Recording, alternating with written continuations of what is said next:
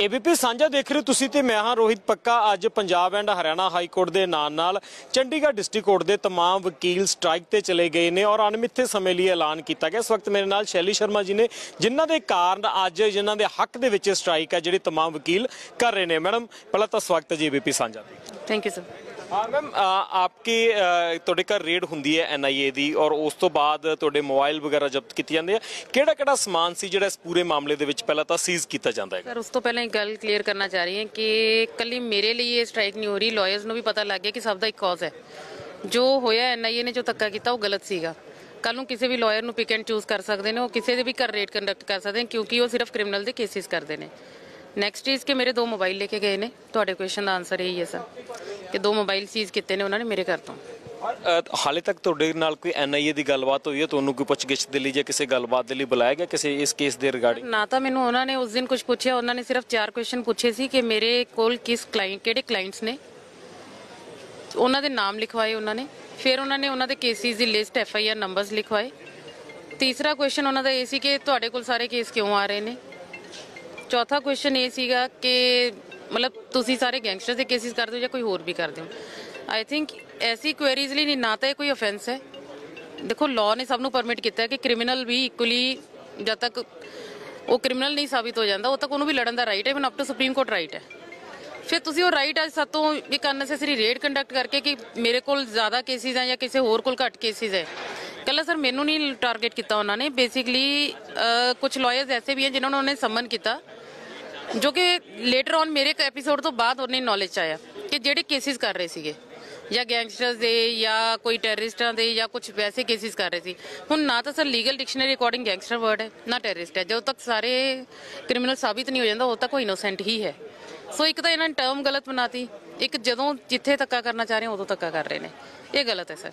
Lawyers ਤੇ at least ਜਦੋਂ ਅਸੀਂ ਕਰ ਰਹੇ, ਸਿਰਫ ਅਸੀਂ ਲਾਅ ਆਫੀਸਰਸ ਹਾਂ।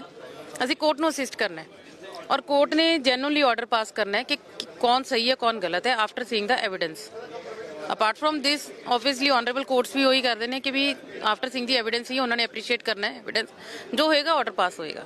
ਤੁਹਾਡੇ ਦੋ ਮੋਬਾਈਲ ਸੀਜ਼ ਕੀਤੇ ਜਾਂਦੇ ਆ ਜਿਹੜੇ ਮੋਬਾਈਲ ਸਿਮ ਹੈ ਉਹ ਸੀਜ਼ ਕੀਤੇ ਜਾਂਦੇ ਆ। ਪਿਛਲੇ ਦਿਨਾਂ ਦੇ ਵਿੱਚ ਐਡਵੋਕੇਟਸ ਦੇ ਇੱਕ ਪੈਨਲ ਦੀ ਐਨਆਈਏ ਦੇ ਨਾਲ ਮੀਟਿੰਗ ਵੀ ਹੁੰਦੀ ਹੈ ਕਿ ਜਿਹੜੇ ਮੋਬਾਈਲ ਆ ਉਹ ਵਾਪਸ ਕਰ ਦਿੱਤੇ ਜਾਣ ਪਰ ਹਾਲੇ ਤੱਕ ਮੋਬਾਈਲ ਵਾਪਸ ਨਹੀਂ ਕੀਤੇ ਗਏ ਨੇ। ਕੋਈ ਹੋਰ ਸਮਾਨ ਸੀ ਤੁਹਾਡਾ ਜੋ ਜ਼ਰੂਰੀ ਸੀ ਜੋ ਉਸ ਚੀਜ਼ ਦੇ ਵਿੱਚ ਪੂਰਾ ਸੀਜ਼ ਕੀਤਾ ਸਰ ਗਿਆ? ਮੇਰੇ ਇਹ ਸਾਰੇ ਇਵਨ ਇਲੈਕਟ੍ਰਿਸਿਟੀ ਬਿੱਲਸ ਤੱਕ ਰੁਕੇ ਹੋਏ ਨੇ। ਮੇਰਾ ਸਿਮ ਬਲੌਕ ਮਤਲਬ ਬਲੌਕ ਹੋਇਆ ਪਿਆ। ਮੈਨੂੰ ਡੁਪਲੀਕੇਟ ਸਿਮ ਨਹੀਂ ਇਸ਼ੂ ਹੋ ਰਿਹਾ। ਮੇਰੀ ਬੈਂਕ ਟ੍ਰਾਂਜੈਕਸ਼ਨਸ ਨਹੀਂ ਹੋ ਰਹੀਆਂ। ਡਿਸਪਾਈਟ ਦੀ ਫੈਕਟ ਕਿ ਉਹਨਾਂ ਕੋਲ ਨਾ ਕੋਈ ਕੁਐਰੀ ਸੀ ਨਾ ਉਹਨਾਂ ਕੋਲ ਅੱਜ ਤੱਕ ਕੁਐਰੀ ਹੈ। ਸਿਰਫ ਆਈ ਥਿੰਕ ਕਿ ਹੁਣ ਮੈਨੂੰ ਵੀ ਨਹੀਂ ਸਮਝ ਆਇਆ ਕਿ ਉਹਨਾਂ ਨੇ ਪਾਰਟਿਕੂਲਰ ਸਿਰਫ ਇੱਕ ਲਿਸਟ ਆਫ ਕੇਸਿਸ ਲੈਣ ਆਏ ਤੇ ਸ਼ਾਇਦ ਸ਼ਰਮਿੰਦਾ ਹੁੰਦੇ ਹੋਏ ਫੋਨ ਲੈ ਗਏ। ਵੀ ਹੁਣ ਕੁਝ ਤਾਂ ਸੀਜ਼ ਕਰਨਾ ਹੀ ਹੈ ਜਦ ਕੁਝ ਹੈ ਨਹੀਂ। ਕਿਉਂਕਿ ਮੇਰੇ ਸਭ ਕੁਝ ਟ੍ਰਾਂਜੈਕਸ਼ਨਸ ਅਕਾਊਂਟ ਡਿਟੇਲਸ ਪੂਰੀ ਅਪ ਟੂ ਡੇਟ ਸੀਗੀਆਂ। ਸੋ ਉਹਨਾਂ ਨੂੰ ਇਹ ਲੱਗਿਆ ਵੀ ਚਲੋ ਫੋਨ ਤਾਂ ਸੀਜ਼ ਕਰ ਹੀ ਲਈਏ, ਸ਼ਾਇਦ ਇਸ ਕਰਕੇ ਲੈ ਗਏ। ਐਨਆਈਏ ਦੇ ਵੱਲੋਂ ਹਾਲੇ ਤੱਕ ਤੁਹਾਨੂੰ ਕਿਸੇ ਪੁੱਛਗਿੱਛ ਦੇ ਲਈ ਬੁਲਾਇਆ ਗਿਆ ਜਾਂ ਤੁਹਾਡੇ ਤੋਂ ਕੋਈ ਗੱਲਬਾਤ ਪੁੱਛੀ ਗਈ? ਇਸ ਤੋਂ ਇਲਾਵਾ ਉਸ ਜਿਹੜੇ ਪੂਰੇ ਰੇਡ ਤੇ ਬਾਅਦ ਦੀ ਮੈਂ ਗੱਲ ਕਰਾਂ।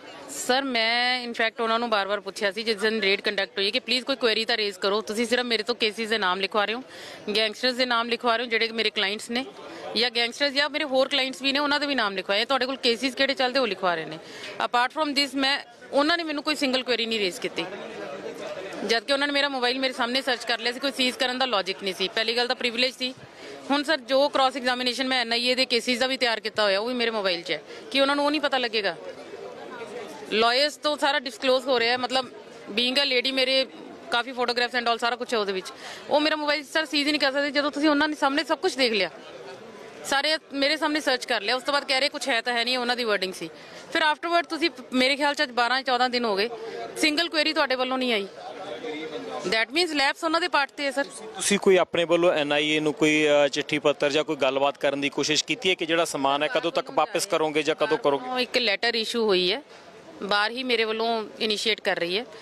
ਤੇ ਉਹਨਾਂ ਨੇ ਲੈਟਰ ਇਸ਼ੂ ਕੀਤੀ ਹੈ ਕਿ ਸਾਰਾ ਕੁਝ ਤੁਸੀਂ ਅਸ਼ੋਰ ਕੀਤਾ ਸੀ ਕਿ 27 ਨੂੰ ਹੋ ਜਾਏਗਾ ਤੇ ਤੁਸੀਂ ਸਟਿਲ ਡੇਟ ਨਹੀਂ ਕੀਤਾ। ਜੋ ਹੈ ਪ੍ਰੈਜ਼ੀਡੈਂਟ ਬਾਹਰ ਜੀ ਦੋਨੋਂ ਕਰ ਰਹੀਆਂ ਸਰ ਕਾਨੂੰਨ ਕਾਨੂੰਨ ਦੇ ਮਾਹਰ ਹੋ। ਕਾਨੂੰਨੀ ਤੌਰ ਤੇ ਕੀ ਲੱਗਦਾ ਇਸ ਚੀਜ਼ ਦਾ ਕਾਨੂੰਨੀ ਅਖਤਿਆਰ ਕੀ ਹੋ ਸਕਦਾ? ਕਿਉਂਕਿ ਫਿਲਹਾਲ ਤਾਂ ਇੱਕ ਗੱਲਬਾਤ ਦਾ ਰਸਤਾ ਅਖਤਿਆਰ ਕੀਤਾ ਜਾ ਰਿਹਾ ਕਿ ਸ਼ਾਇਦ ਗੱਲਬਾਤ ਦੇ ਜ਼ਰੀਏ ਐਨਆਈਏ ਜਿਹੜਾ ਸਮਾਨ ਆ ਉਹ ਵਾਪਸ ਕਰ ਦੇ, ਮੋਬਾਈਲ ਵਾਪਸ ਕਰ ਦੇ। ਪਰ ਕਾਨੂੰਨੀ ਪੱਖ ਕੀ ਕਹਿੰਦਾ ਹੈਗਾ? ਸਰ ਜੋ ਵੀ ਡਿਸੀਜਨ ਹੋਏਗਾ ਉਹ ਬਾਹਰ ਲਏਗੀ। ਕਾਨੂੰਨੀ ਪੱਖ ਸਾਰਿਆਂ ਨੂੰ ਪਤਾ ਹੈ ਸਰ ਸਾਰੇ ਲਾਇਰਸ ਨੇ ਸਭ ਨੂੰ ਪਤਾ ਹੈ। ਬਟ ਅਲਟੀ ਫਾਈਨਲ ਡਿਸੀਜਨ ਤਾਂ ਬਾਹਰ ਦਾ ਹੋਏਗਾ। ਉਸ ਤੋਂ ਬਾਅਦ ਅਸੀਂ ਪ੍ਰੋਸੀਡ ਕਰਾਂਗੇ। ਬਾਹਰ ਦੇ ਵੱਲੋਂ ਕਿਹਾ ਗਿਆ ਕਿ ਅੱਜ ਦੇ ਦਿਨ ਲਈ ਸਟ੍ਰਾਈਕ ਹੈ ਜਿਹੜੀ ਉਹ ਸ਼ੁਰੂ ਕਰ ਦਿੱਤੀ ਗਈ ਹੈ। ਤੁਹਾਡੇ ਹੱਕ 'ਚ ਜਾਂ ਕਹਿ ਲਈਏ ਤਮਾਮ ਵਕੀਲਾਂ ਦੇ ਹੱਕ 'ਚ ਕਦੋਂ ਤੱਕ ਇਹ ਸਟ੍ਰਾਈਕ ਹੈ ਜਿਹੜੀ ਉਹ ਜਾਰੀ ਰੱਖੀ ਜਾਏਗੀ? ਅਣਮਿੱਥੇ ਸਮੇਂ ਦੇ ਲਈ ਹੈ ਜਾਂ ਇੱਕ ਲਿਮਟਿਡ ਟਾਈਮ ਹੀ ਰੱਖਿਆ ਜਾਵੇ ਸਰ ਉਹਨਾਂ ਨੇ ਕਿਹਾ ਜਦੋਂ ਤੱਕ ਮੋਬਾਈਲ ਰਿਟਰਨ ਨਹੀਂ ਹੋ ਜਾਂਦੇ ਉਦੋਂ ਤੱਕ ਸਟ੍ਰਾਈਕ ਹੈ।